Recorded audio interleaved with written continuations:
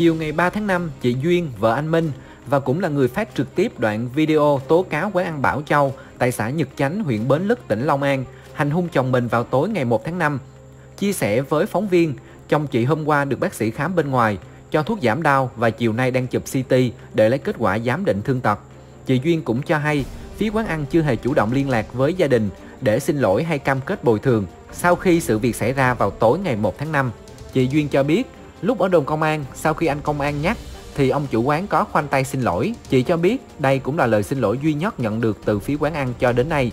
Gia đình chị cũng chưa đòi hỏi, nhận tiền bồi thường hay kiện tụng gì cả. Chị Duyên nói rằng đang tập trung quay lại công việc bình thường và theo dõi sức khỏe của chồng mình. Mọi việc khác cứ để cơ quan có thẩm quyền giải quyết.